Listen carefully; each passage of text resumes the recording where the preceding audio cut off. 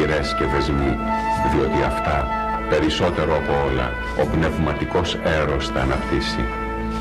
Ιδεοθέατρον, ένα οδηπορικό μέσα από γνωστά και άγνωστα κείμενα της ελληνικής φιλοσοφίας και μυθολογίας, ένα συνεχές δρόμενο, μια πορεία δεκάδων χιλιάδων ετών, με αφετηρία και προορισμό, την σημαντική της αρχαίας ελληνικής γλώσσας και παιδείας, τον άνθρωπο και τις αξίες του.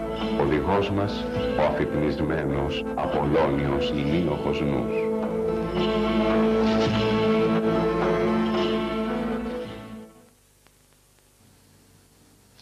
Μνημοσύνης και ζηνός ερηγδού ποιοθύγατρες, μους επιερίδες, μεγαλώνυμη, αγλαόφημη, θνητής ή και παρήτε, ποθηνότατε, πολύμορφη, πάσης παιδείες αρετήν γενώσε άμεμπτον, θρέπτηρε ψυχής, διανίας ορθοδότηρε, και νόου ευδυνάτιο καθηγήτηρε άνασε, ετελετάς θνητής ανεδείξατε μυστιπολεύτους, κλειό ευτέρπη θάλια μελπομένη, τερψυχώρη ερατό, πολύμνια, ουρανία καλλιόπησιν μητρή και ευδυνάτη η θεά η αγνή. Αλλά μόλιτε Θεέ, μίστες πολυπίκυλοι αγνέ, εύκλειαν ζήλων τερατών, πολύυμνων άγουσε. Καλούμε τις μουσες, τις εννέα μουσες, τις δυνάμεις, τις επιστήμες του Απολωνίου Φωτός, όπως ενισχύσουν τις διάνοιες και τα σώματα απάντων των Ελλήνων για να έχουν τις ορθότερες και τις πλέον φωτεινές εμπνεύσεις για τις σωστές επιλογές που πρέπει να κάνουμε τις δύσκολες μέρες που περνάμε. Βέβαια, εταίροι της ελληνικής σοφίας ως ευπαρέστητε και στο απόψινό μας φιλοσοφικό ενδιέτημα, φίλοι των πνευματικών ιδεών της θέας του ωραίου, του αληθούς και του αγαθού. Πόσοι άραγε να είσαστε, πόσοι άραγε ερωτεύονται την σήμερον ημέρα το ωραίο, το αληθές και το αγαθόν αφού τα πάντα έχουν στηριχθεί επάνω στο ψεύδος, επάνω στην ε, ύλη και τις δυνάμεις της ύλης, στο κομμάτι εκείνο δηλαδή το οποίο είναι φθαρτό, είναι θεμητό, στο κομμάτι εκείνο που μας συνδέει με το σκοτάδι και όχι με το φως. Διότι μόνο το πνεύμα, μόνο ο λόγος ορθός, μόνο η επιστήμη συνεζευγμένη με την τέχνη και την φιλοσοφία την έννοια και το βίωμα του ανθρωπισμού μπορούν να μας οδηγήσουν στο φως. Όσοι λοιπόν κι αν είστε χαρισμένοι προς εσάς και οι λόγοι μας οι αποψινοί, ε, μπορεί να είναι λίγοι οι αισθητοί, αλλά είναι σίγουρο ότι τους λόγους μας τους ακούν και συγκινούνται από αυτούς πολύ αόρατοι. Έτσι λοιπόν οι λόγοι μας σήμερα θα ξεκινήσουν με ένα αφιέρωμα για τα παιδιά μας. Θα δούμε ε, ένα μικρό βίντεο που αφορά τα μαθήματα των αρχαίων ελληνικών που κάνουμε για τα παιδιά νηπιαγωγείου και δημοτικού. Ας δούμε το βίντεο και θα τα πούμε μετά.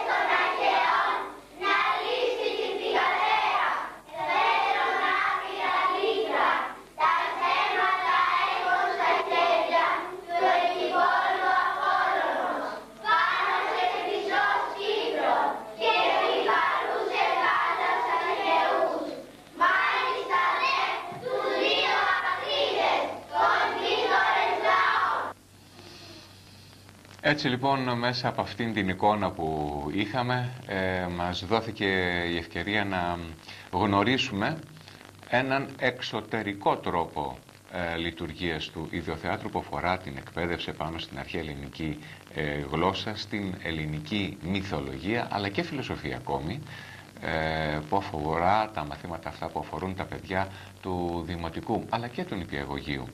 Αυτό που παρακολουθήσατε ήταν ε, ένα παιχνίδι, έναν, ε, ένας όμορφος τρόπος, ένας απλός τρόπος μέσα από τραγούδι, μέσα από κίνηση να βιώσουν τα παιδιά, να ενσαρκώσουν τα παιδιά τον λόγο του Ομήρου. Έναν λόγο που στα αλήθεια έχουν γονατίσει μπροστά του οι αιώνες των αιώνων και θα είναι πάντοτε η ανθρωπότητα ε, γονατισμένη μπροστά, στους, ε, μπροστά στην Ηλιάδα και την Οδύσσια τα αξεπέραστα έπι και είναι αξεπέραστα γιατί δεν περιγράφουν μόνο ε, φυσική ιστορία, αστρονομία, δεν έχουν μέσα τους ήθη και έθιμα, δεν έχουν μόνο μέσα τους ε, την ανάμνηση ενός μεγάλου πολέμου ή μιας μεγάλης περιπέτειας της Οδυσσίας αλλά κατεξοχήν ζωγραφίζουν, αποτυπώνουν και τις πνευματικές ενέργειες που πρέπει να εκδηλώσει κάθε άνθρωπος για να κατακτήσει το ήλιον αλλά και να οδηπορήσει η ψυχή του διαμέσου ε, της θάλασσας για να φτάσει στην πνευματική Ιθάκη. Η ελληνική γλώσσα λοιπόν είναι ότι σημαντικότερο μπορούμε να προσφέρουμε στα παιδιά μας η εκπαίδευση επάνω στην ελληνική γλώσσα, την αρχαία ελληνική γλώσσα, την ελληνική δηλαδή στην μητρική της δομή.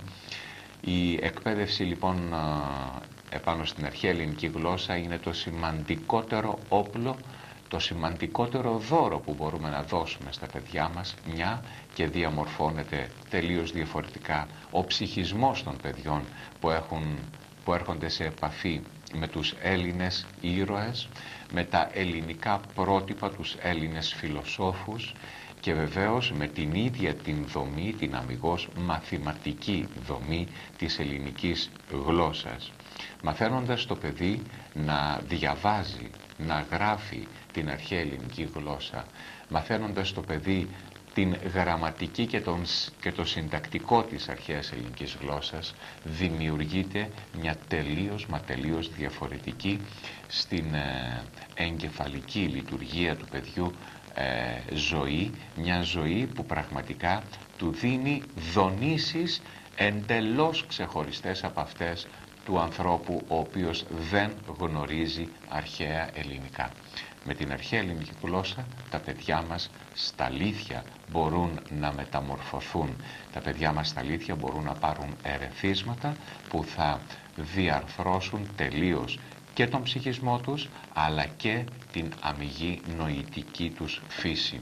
Είναι γνωστά τα αποτελέσματα που έχουν υπάρξει στις έρευνες των ψυχιάτρων στα παιδιά που λειτουργούν την αρχαία ελληνική και αυτά που δεν έχουν σπουδάσει την αρχαία ελληνική, τα άριστα στα τεστ νοημοσύνης που έχουν λάβει τα παιδιά ε, που σπουδάζουν αρχαία ελληνικά, την μηδενική δυσλεξία που έχουν τα παιδιά αυτά και στα αλήθεια ε, θα ήθελα να καλέσω για να γνωρίσουν και από κοντά όλους τους γονείς που έχουν παιδιά σε νηπιακή και προνηπιακή ηλικία και βεβαίως και παιδιά δημοτικού. Δύο Σάββατα θα έχουμε ε, δύο μεγάλες παρουσιάσεις, εορτές στον φυσικό χώρο του Ιδεοθεάτρου, ανοιχτά μαθήματα όπου μπορείτε να παρακολουθήσετε από κοντά τον τρόπο λειτουργίας μας.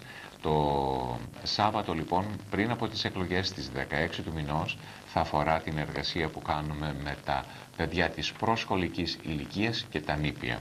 Και στις 23 του μηνός είναι οι τάξεις του Δημοτικού όπου παρουσιάζουμε τα σημαντικότατα έργα, την ζωή και ε, τους άθλους του Ηρακλέους με τα μικρότερα παιδιά και με τα μεγαλύτερα παιδιά τον Προμηθέα Δεσμότη του Εσχύλου και βεβαίως ε, δεκάδες ε, κλήσεις ρημάτων, ετυμολογίες λέξεων όπως αυτές θα μας τις παρουσιάσουν τα παιδιά. Σας προσκαλούμε λοιπόν στο φυσικό χώρο του Ιδεοθεάτρου, συνοδός του Ουρνάρα 57, στον τρίτο όροφο, με ελεύθερη βεβαίως είσοδο. Εσείς παππούδες και εσείς μητέρες και μπαμπάδες, φέρτε τα τέκνα σας, φέρτε, φέρτε τα βλαστάρια σας το Σάββατο στις 16 είναι μόνο για τα νήπια και ε, τα προσχολικής ηλικίας παιδιά συγγνώμη, ενώ την, ε, ε, το Σάββατο στις 23 είναι για όλα τα παιδιά του Δημοτικού. Έλληνας λοιπόν είναι μια λέξη όπως μας παραδίδεται από τον ίδιο τον Όμηρο. Όμηρος ονομάζει τους Έλληνες Πανέλληνες. Έχουμε λοιπόν στην ετυμολογία του ονόματος Έλληνας τις ε, εξής, ε, αναζητώντας τις εξής λέξεις. Σέλας, Σελάνη, Σελήνη, Ελλήνη, Ελένη, Έλλη, Ελλάς και Έλληνας. Το, το εθνικό μας λοιπόν όνομα είναι γεμάτο φως, γιατί τα πάντα εκδηλώνουν ιδιότητες φωτός. Και το Σέλας και το Σελάνη και η Σελήνη και η Ελλήνη και η Ελένη είναι το φως κατ' ουσίαν της νοήσεως η ελ, ένι, ελ, ηλ, αλ είναι κατεξοχήν ρίζες λέξεων που αφορούν τον ήλιο, το φως του ηλίου, τις ηλιακές δυνάμεις είναι το, ο ηλιακός νους, το κάλος του ηλιακού νοός, η Ελένη. Έλλη λοιπόν, Ελλάς, έχει μέσα της το όνομά μας, το ίδιο το κάλος, την ίδια την δύναμη, την έγλη του ηλιακού φωτός. Το εθνικό μας όνομα γεμάτο από φως. Και από την μυθολογία μας και από την ιστορία μας βεβαίως είναι το όνομα Ελλάς γεμάτο όχι μόνο φως αλλά και ηρωισμό και πολιτισμό και δόξα. Στα χρόνια της Ρωμαϊκής σκλαβιάς, από το 146 μείον δηλαδή π.Χ.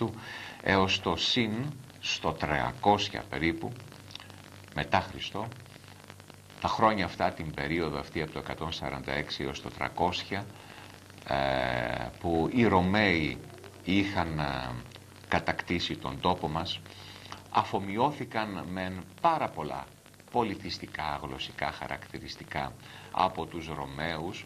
Οι Έλληνες όμως αφομοίωσαν ονομαστικά από τους Ρωμαίους το όνομά τους. Έγιναν Ρωμνοί. Και η ονομασία αυτή διατηρήθηκε και στην έκφραση Ρωμνιοσύνη. Ένα όνομα που κατά τους Βυζαντινούς αλλά και τους μετέπειτα μαύρους χρόνους της σκλαβιάς κρατήθηκε Ρωμνιοσύνη και Ρωμνή. Οι παλαιότεροι χριστιανοί ταύτιζαν το όνομα Έλληνες ε, με τους εθνικούς, δηλαδή με εκείνους που ήθελαν να κρατήσουν την ταυτότητά τους στην εθνική, την ταυτότητά τους στην ελληνική ε, και μαζί με την ταυτότητά τους και την εθνική θρησκεία, δηλαδή την, την πατρόα θρησκεία.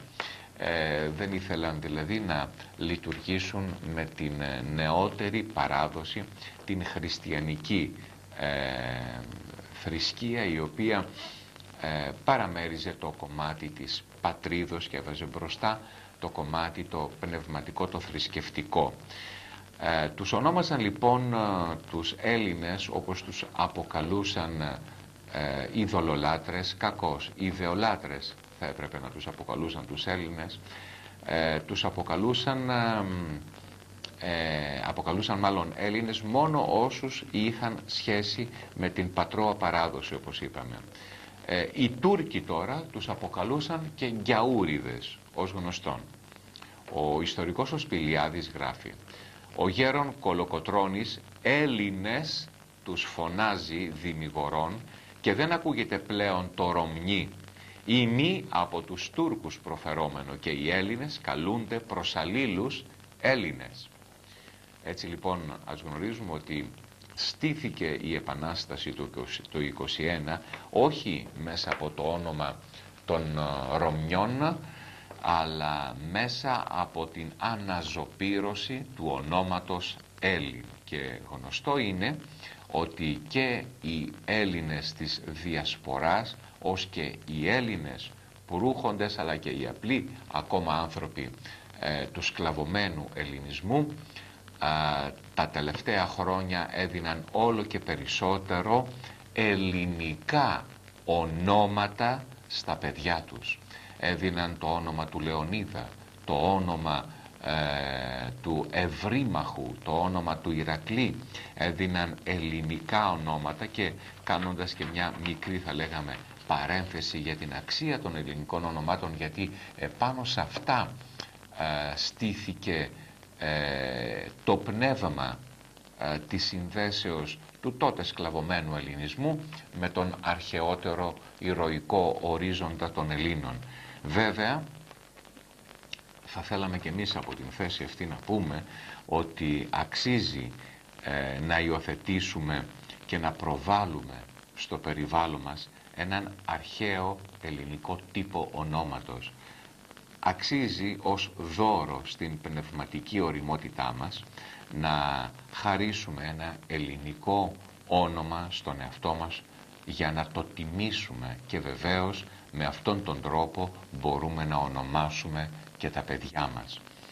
Ε, 8 στα 10 παιδιά που παρακολουθούν ιδιαίτερο στα μαθήματα τα αρχαία ελληνικά φέρουν όλα αγόρια κορίτσια ελληνικά ονόματα αμυγός ελληνικά ονόματα. Αστρέα, Αθηναίδα, Εακός, Αριγνώτη, Αταλάντη, Ευρυνόμη, Ιφαιστία, Δάιρα, Δήμητρα, Διόνη, Διομήδης, Ερατό, Εριξία, Σίβη, Ηλιοδίτη, Ηρακλής, Ηλάιρα, Ιάσον, Ήρης, Ιφιάνασα, Κλεονίκη, Λίδα, Λιτό, Οδυσσέας, Πανδίων, Παρμενίδης, Περσέας, Πρόκλος, Προμηθέας, Ρέα, Τιλάβγης, Φαέθων, Φίβη, χαίρετε φίλες ψυχές. Εσείς που έχετε επιλέξει τα ονόματα αυτά πάντοτε να τα σέβεστε. Έτσι λοιπόν η ονοματοδοσία είναι μέρος της πολιτισ... πολιτιστικής μας κληρονομιάς. Γι' αυτό μας αφορά άμεσα. Πρέπει αυτό το θέμα να το πάρουμε στα χέρια μας και να το μεταβιβάσουμε στα παιδιά μας.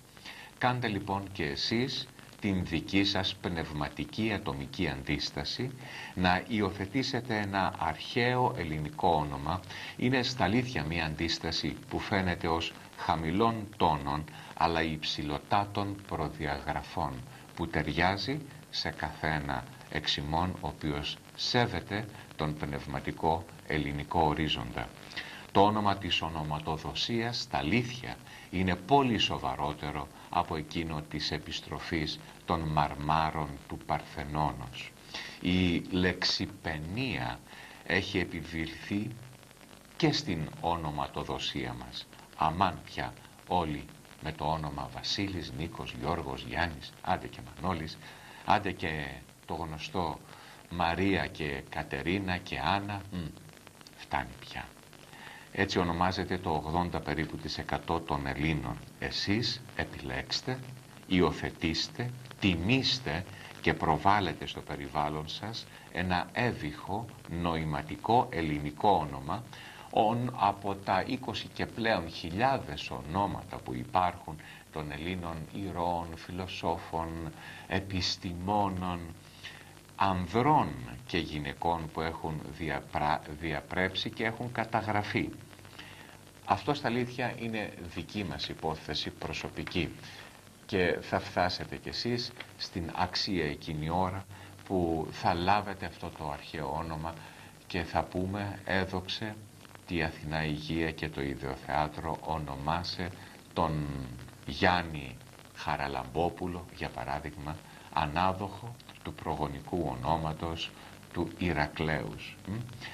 Ήθε να βρεθεί και στην δική σας επιλογή η ώρα αυτή, γιατί στα αλήθεια η επιλογή των ελληνικών ονομάτων μας συνδέει αρρήκτος με το πνεύμα που εκφράζουν τα ονόματα πέραν της μουσικότητος ε, υπάρχει πίσω από κάθε όνομα μια ετυμολογία πολύ σημαντική υπάρχει σημαίνον και σημενόμενον υπάρχει ένας ε, φωτεινός ε, φάρος που πραγματικά η πνευματικότητα του ονόματος επισημαίνει και που εμείς θα πρέπει να τηρούμε στην καθημερινότητά μας. Θα πρέπει να ομοιάζουμε δηλαδή προς την ε, ε, δομή, προς την λειτουργία, προς το πνεύμα που εκφράζει ένα αρχαίο ελληνικό όνομα.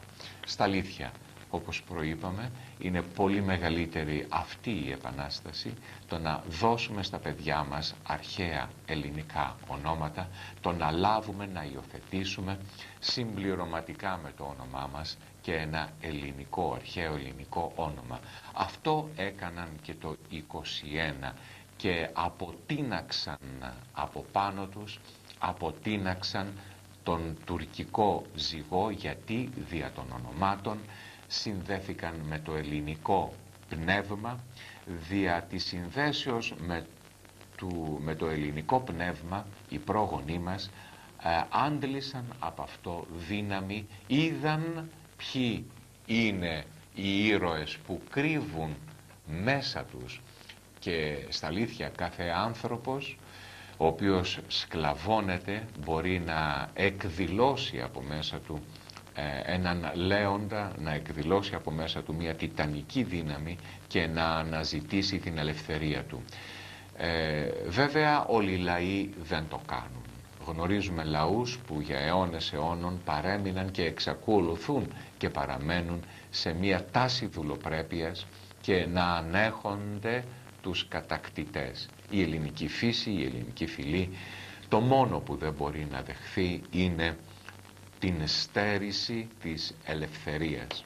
Αναζητώντας λοιπόν και στην σημερινή ζωή την ελευθερία μας, θα πρέπει να συνδεθούμε με το αθάνατο ελληνικό πνεύμα, με την ελληνική ταυτότητα, με το ηρωικό πνεύμα, με τον ορθό λόγο της ελληνικής σκέψεως, με την δύναμη εκείνη της ε, ελληνικής σκέψεως που μπορεί να μπολιάσει τον σημερινό Έλληνα με πρότυπα ανθρωπισμού, με πρότυπα και αξίες που ε, τις ξεχάσαμε, χάσαμε την σύνδεσή μας και τον σεβασμό μας ακόμα και προς τους ίδιους μας τους γονείς, προς την ίδια μας την οικογένεια.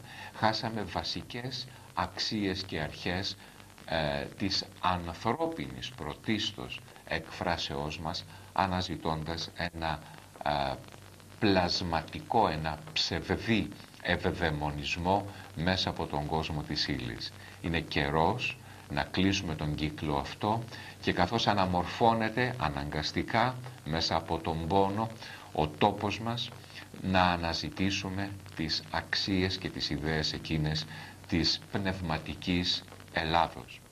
Μιλώντας λοιπόν για να συνδεθούμε πάλι με το όνομα της πατρίδος μας, το όνομα Ελλάς και το Έλλην, να θυμηθούμε ότι όλοι όσοι άφησαν από μνημονεύματα του 21 και ο Μακρυγιάννης και ο Κολοκοτρώνης και ο Κασομούλης και ο Φωτάκος και ο Νικηταράς αν και αγράμματοι ένα όνομα έχουν να πούν Έλληνες οι γενναίοι Έλληνες, οι αθάνατοι Έλληνες, οι Έλληνες τα γενναία λιοντάρια.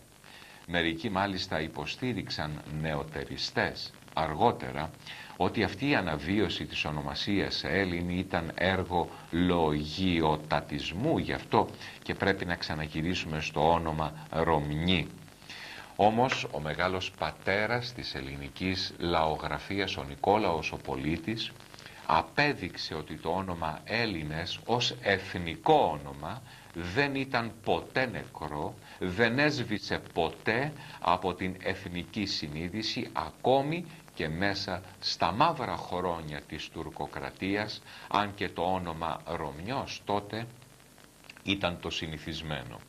Οι ιστορίες και οι θρύλοι για τους Έλληνες, τους Ελλήνου, Ελλήνους ή τους Ελένιδες τους Ελληνάδες αυθονούν σε όλη την έκταση του ελληνικού χώρου και σε όλο το διάστημα αιώνων, αιώνων μέσα και στην τουρκοκρατία. Οι Έλληνες ήταν στα μάτια, στην φαντασία των ανθρώπων θεόρατοι, ήταν ψηλοί σαν λεύκες, ήταν δυνατοί σαν τα θηρία, δρασκέλιζαν τα ποτάμια, πηδούσαν από βουνοκορφή σε βουνοκορφή και η φωνή τους ήταν σαν βροντί. Βλέπε το πρότυπο εκείνης της εποχής των Διγενεία Κρήτα.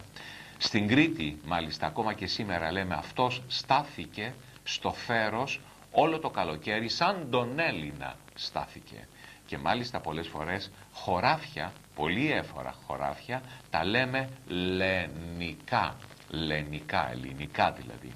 Με αυτήν λοιπόν την μυθική πίστη για μια φυλή γιγαντόκορμη, μυθική, αθάνατη, μπήκε ο ελληνικός λαός στον αγώνα του 21 γιατί ένιωθε ότι συνδέεται με αυτή την φυλή των αθανάτων ένιωθε ότι εκδήλωνε από μέσα του αυτήν την φυλή των αθανάτων και να θυμηθούμε ότι ακόμα και η ίδια η φιλική εταιρεία ορκίζει τα μέλη της στο όνομα των Ελλήνων ιερέων της Ελευσίνας.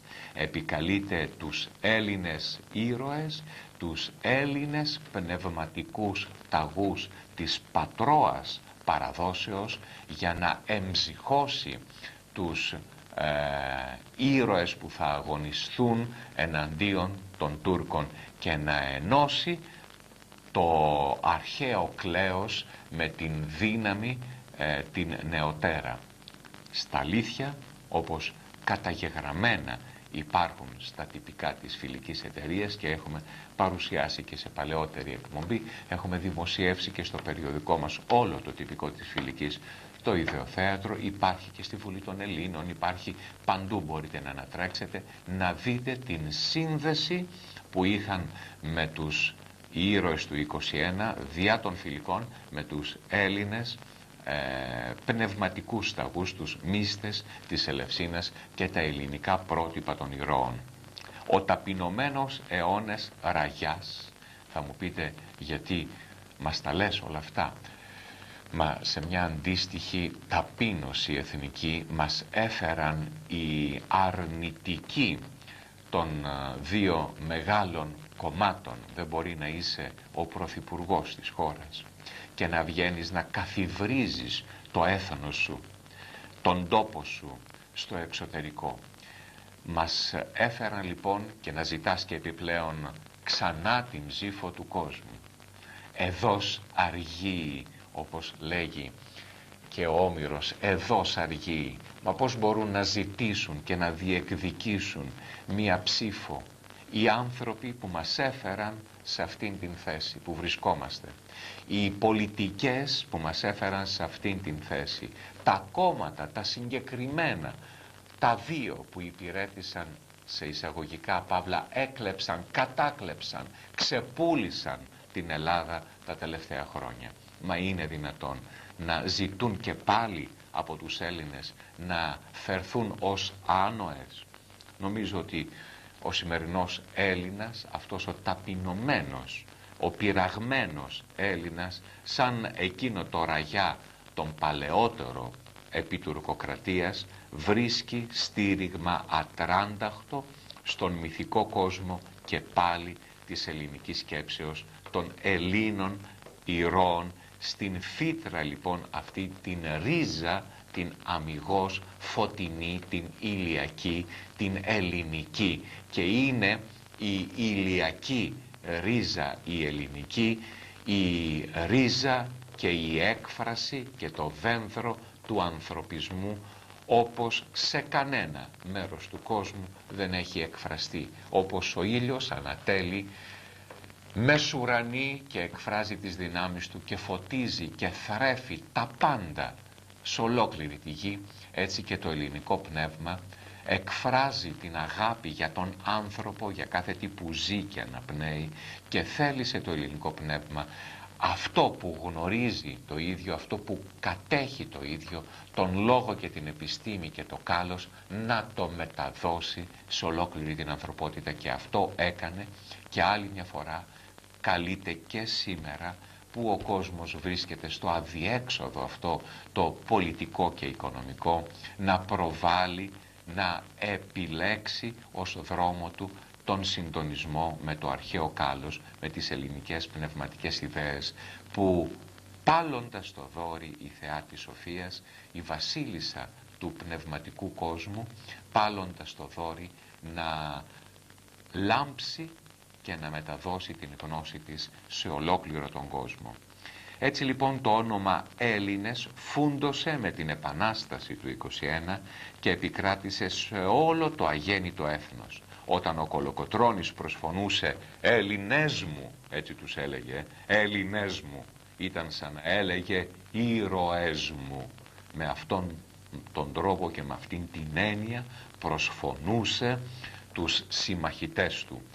Η πολεμική και η πολιτική αρετή των Ελλήνων, η κλασική ομορφιά των έργων τους, η αθάνατη σοφία τους γεμίζουν υπερηφάνεια τους νεότερους Έλληνες που απέδειξαν στην άμυλα των γενεών πως δεν είναι κατώτεροι από τους αρχαίους Έλληνες το αποδείξαμε αυτό και το 21 και το 12 και το 40 και με τόσους μεγάλους αγώνες μέσα στην δικτατορία και αν χρειαστεί θα το αποδείξουμε και άλλη μια φορά.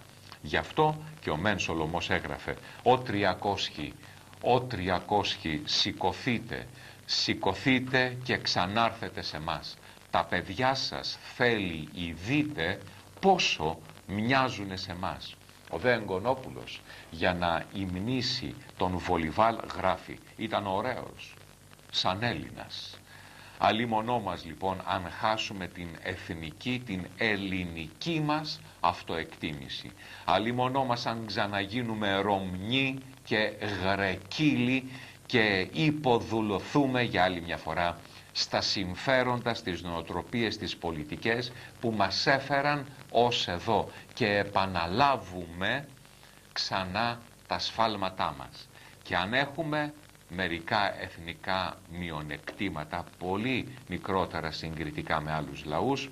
Όμως ας μην ακουστεί πια από ελληνικά χείλη αυτή η φοβερή φράση «Ρωμνοί δεν είμαστε, τι περιμένεις» Μ; ποτέ καιρός λοιπόν είναι και διεθνώς πραγματικά να καθιερωθεί το Hellenic και όχι το Greece Πολλά και πολλά και μεγάλα έχουμε πάθει ανά τους αιώνες και έχουμε προσφέρει σε ολόκληρο τον κόσμο. Ας σταθούμε λοιπόν και πάλι γενναίοι, σοφοί και ωραίοι σαν Έλληνες, χωρίς όμως ουδεμία ρατσιστική υπεροψία, για να ξεκαθαρίσουμε τους προσδιορισμούς των λόγων και της ταυτότητος που έχει η Ελλάς.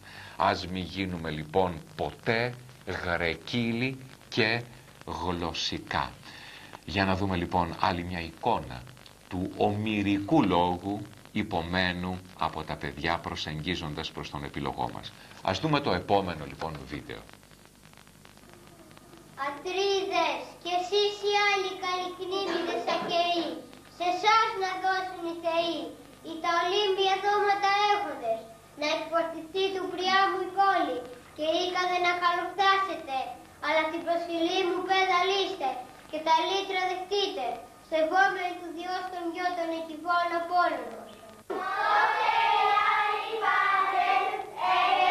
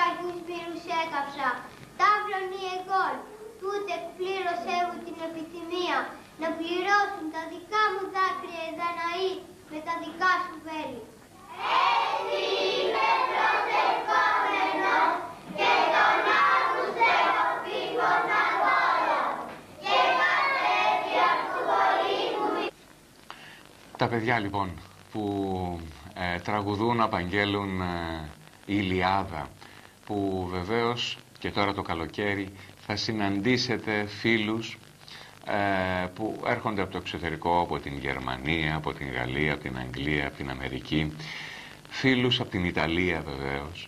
Ε, ή και αγνώστους θα κάνετε νέες γνωριμίες και θα ακούσετε τους ξένους να σας απαγγέλουν όμοιρο και εσείς θα κοκκινήσετε για άλλη μια φορά όπως συμβαίνει με τους περισσότερους Έλληνες όταν βγαίνουν στο εξωτερικό και ιδιαίτερα Έλληνες που πάνε να κάνουν και ένα μεταπτυχιακό στα ξένα πανεπιστήμια είτε είναι μαθηματικοί είτε είναι φυσικοί είτε είναι γιατροί και ακούν τους καθηγητές ακόμα και τους συμμαθητές τους στα ξένα πανεπιστήμια να απαγγέλουν όμοιρο και εκείνοι βεβαίως να ντρέπονται γιατί δεν γνωρίζουν ούτε ένα στίχο του Ομήρου απ' έξω. Ε, να θυμίσω ότι τα μαθήματα αρχαίων ελληνικών για παιδιά προνηπιακής και νηπιακής ηλικίας, για παιδιά δημοτικού αλλά και ενηλίκων, θα δημιουργήσουν νέα τμήματα από τη νέα χρονιά, από τον Σεπτέμβριο. Κλείνοντας όμως αυτή μας τη χρονιά, στις 16 του μηνός, το Σάββατο πριν από τις εκλογές, θα έχουμε μια παρουσίαση με τα νήπια μας, ε, και μπορείτε να φέρετε εσείς οι παππούδες ή οι γονείς τα νήπια να παρακολουθήσουν την εργασία μας. Και στις 23 Σάββατο θα είναι για τα μεγαλύτερα παιδιά των τάξεων του Δημοτικού όπου και πάλι βεβαίως μπορείτε να έρθετε να παρακολουθήσετε αυτό το ανοιχτό μας μάθημα. ε, ένα μάθημα που μας παρουσιάζει τις γνώσεις των παιδιών μας όπου έχουν ε, αποκτήσει καθ' όλη τη διάρκεια του έτους. Μέσα από έναν απλό τρόπο, σαν αυτό που παρακολουθήσατε στην, ε, στο βίντεο, ε, της παιδιάς, παίζοντας, παίζοντας μιλάμε για τον Όμηρο, μιλάμε για τις ομερικές λέξεις, λέμε ότι μήνυς είναι μια λέξη σωμηρική, όμως δεν τη μιλάμε σήμερα, λέμε όμως τη μανία, ε, μήνυς, μανία, θυμός, είναι μια λέξη ε, που κρατιέται ε, εκατοντάδες χρόνια τώρα ζωντανή. Μην είναι άι δε θεά άδο δεν λέμε άδο λέμε όμως τραγουδό λέμε οδείο λέμε αηδόνι λέξεις λοιπόν που ε, υπάρχουν αυτούσιες στο λεξιλόγιο μας σήμερα είτε ως παράγωγα εκφράζουν τον ελληνικό λόγο. Είναι πολύ σημαντικό λοιπόν να τη συνειδητοποιήσουμε, αυτό κάνουν και τα παιδιά μας και να μπορούν να έχουμε σύνδεση με την ετοιμολογία. Να θυμίσω ότι το σημαντικότερο δώρο είναι τα μαθήματα των αρχαίων ελληνικών που μπορούμε να δώσουμε στα παιδιά μας. Μαθήματα που θα τους αλλάξουν εντελώς τον τρόπο της σκέψεως, την δυναμική της σκέψεως, ταυτίζοντας την, ε, τον λόγο με την δύναμη ε, της ε, σκέψεως και των αριθμών ταυτίζοντας με τον λόγο, με την σύνταξη και συντάσσοντας τον λόγο και την γραμματική συντάσσουμε και ορθογραφούμε και τον ψυχισμό μας. Μηδενική η δυσλεξία στα παιδιά μας, άριστα δέκα σε όλα τα τεστ νοημοσύνης. Να κλείσουμε λοιπόν την σημερινή μας εκπομπή με το κείμενο του επικτήτου που τόσο αγαπώ και λέγει ε, ο επικτήτος έχεις μέσα σου κάτι από το Θεό. Γιατί λοιπόν το αγνοείς; Γιατί αγνοείς αυτήν την συγγένεια; Έχεις μέσα σου το Θεό. Καλά δεν το αισθάνεσαι; Γιατί τον μολύνεις τον Θεό που έχεις μέσα σου τον Έλληνα; Που έχεις μέσα σου με ακάθαρτα διανοήματα και με συνεχώς ρηπα, ρηπαρές πράξεις και συνεχώς επαναλαμβανόμενα σφάλματα. Αν λοιπόν ήταν μπροστά σου ένα άγαλμα του Θεού, δεν θα τολμούσες να κάνεις τίποτα από όσα κάνεις τώρα. Και ενώ είσαι εσύ ο ίδιος Θεός, φέρεις μέσα σου τον Θεό, είναι παρόν ο Θεός εντός σου, βλέπει τα πάντα, ακούει τα πάντα, δεν τρέπεσαι που κάνεις το κακό και επαναλαμβάνεις συνεχώς τα ίδια λάθη, μη έχοντας συνέστηση του τι είναι η φύση σου, ένα ελεύθερο θείο πνεύμα, Έλληνά μου. Εσύ λοιπόν που είσαι το κατασκεύασμα αυτού του δημιουργού θέλεις να το κατεσχύνεις, να τον τροπιάσεις και όμως ο Θεός όχι μόνο σε κατασκεύασε αλλά και εμπιστεύθηκε και παρέδωσε σε σένα την θειότερη έκφρασή του. Και εσύ δεν θα το θυμηθείς αυτό και θα ντροπιάσεις αυτήν την κυδαιμονία. Αν ο Θεός σου παρέδιδε ένα ορφανό έτσι θα το παραμελούσες. Εκείνος σου παρέδωσε τον εαυτό του και είπε δεν είχα άλλο. Δεν είχα άλλο που να τον εμπιστευθώ περισσότερο από σένα. Φύλαγέ μου λοιπόν Έλληνα αυτόν τον θείο εαυτό, αυτόν τον φωτεινό και θείο λόγο μέσα σου. Μέσα σου άνθρωπε, φύλαγέ μου το όμως με ταπεινότητα, με απόλυτη πίστη, αλλά και με υψηλόφρονα αισθήματα. Να είσαι πάντοτε Έλληνα ατρόμητος, χωρίς πάθη, να είσαι ατάραχος. Εσύ λοιπόν που φέρεις μέσα σου αυτήν την ταυτότητα του πνευματικού φωτός Έλληνά μου, δεν θα διαφυλάξεις τον ορθό λόγο και δεν θα τον εκφράσεις και στην καθημερινότητά σου και στις άμεσες αναμετρήσεις που θα γίνουν επιλέγοντας πάντοτε το ορθό μη επαναλαμβάνοντας τα σφάλματα που έπραξε στο παρελθόν. Θερμά σας ευχαριστώ από την καρδιά του Απόλλωνα στον ήλιο της καρδιάς σας να ευδαιμονείτε. Ου συμφέρεις της άρχους η φρονήματα μεγάλα εν γίγνεστε των ερχομένων, ουδέ φιλίας ισχυράς και κοινωνίας. Δεν συμφέρει εις τους άρχοντες φρονήματα γενναία να καλλιεργούνται εις τους αρχομένους, ούτε φιλίες ισχυρές και δεσμοί, διότι αυτά περισσότερο από όλα ο πνευματικός έρος θα αναπτύσσει.